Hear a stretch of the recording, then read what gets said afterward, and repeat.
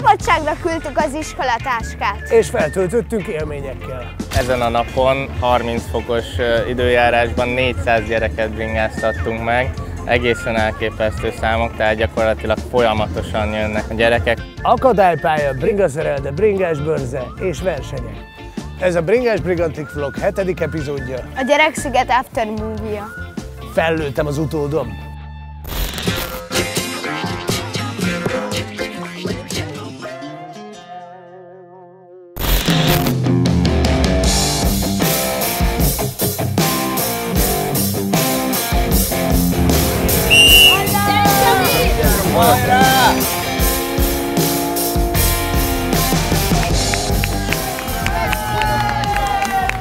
Nagyon gratulálok. Hát hányadik lettél? Második. 33 másodperc, 88 század másodperccel. És milyenek voltak a epehupák? Meg a billenő palló? Nagyon jók. És mentél már ilyenekkel, vagy most először? Nem tudom, de lehet, hogy mentem. És milyen állomásokon voltatok? Nagyon sok helyen. Itt is voltál mondjuk a bringa szereldében? Igen, ott volt egyik legjobb. Milyen volt ez a pálya? Nehéz? Igen, nehéz volt. Milyen nem mentél? Futóbiciklivel gondolom nem, hanem pedálossal. Igen, mert már azzal is tudok, a hobbiból megtanultam. Te egy tapasztalt, rutinos bringás vagy, ugye?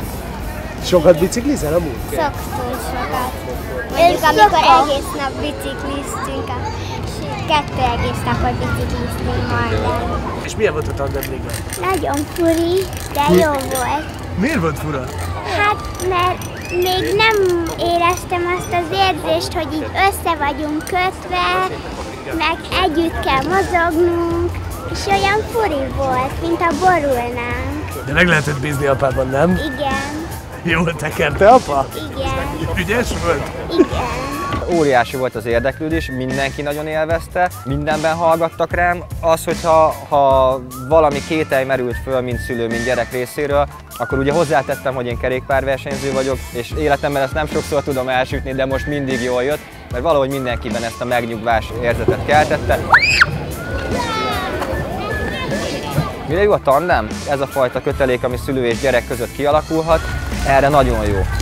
Annak érdekében pedig, hogy a gyereknek a bringázással kapcsolatban kialakuljon egy életre szóló kötelék, nem mindegy, hogy milyen és mennyire hozzáillő kerékpáron kezdődik ez a kapcsolat. A foglalkozások éppen ezért magasságméréssel kezdődtek. 85-től 130 centig határoztuk meg a mérethatárokat, és ez, ebben a mérettartományban 5 különböző méretű biciklivel dolgozunk, 12 szolostól a 20 szolosig, és ez azért fontos, mert a gyereknek az első élmény, amikor ráül egy bringára, az az, hogy jó-e a méret. És ha nem jó a méret, azt egyből észreveszi, egyből már rosszul kezdődik az élmény. Tehát mi nagyon figyelünk arra, hogy megfelelő méretű biciklit adjunk mindenkinek, annak érdekében, hogy jól induljon a bringázás. Hogy mi a motiváció? Figyelj, én azt mondom neked, hogy a bringa az egy olyan dolog, az úgy ki van találva, hogy a gyerek, hogyha fölül, azonnal elkezd mosolyogni. Mindegyik, kivétel nélkül. És nálam például ez mai napig megvan. Tehát, hogyha én elindulok otthonról, nekem az első pár méter az olyan, hogy nem is vágyom másra. És ugyanezt látom a gyerekeken is. Négy-öt éves gyerekek is itt már mondják, hogy ilyen meg olyan biciklije van, meg, meg mindenféle. Tehát viszont találkoztam olyannal is, aki meg 8 éves létére azt mondta, hogy ő még nem tud biciklizni. Úgyhogy azonnal át is küldtem az ibolyához, hogy akkor ez most el fog múlni. Próbáljuk meg a gyerekeket egészen pici korban megtanítani, megtanítani kerékpározni, és itt nem minden esetben arról van szó, hogy majd ők majd olimpiai bajnokok legyenek, hanem arról van szó, hogy a sporták szeretetét, ezt a közlekedési formát, a biztonságos közlekedést, magát a kerékpározás örömét és szabadságát próbáljuk meg átadni egészen pici kortól a gyerekeknek.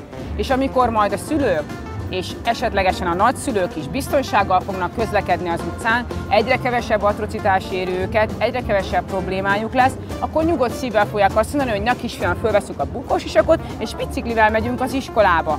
Azt gondolom, hogy türelem kell ehhez is, türelem, megértés, és sok-sok képzés, hogy a gyerekek biztonsággal kezeljék a kerékpárt. És akkor azt fogjuk észrevenni, hogy fogyni fog az autó, és több lesz a kerékpáros.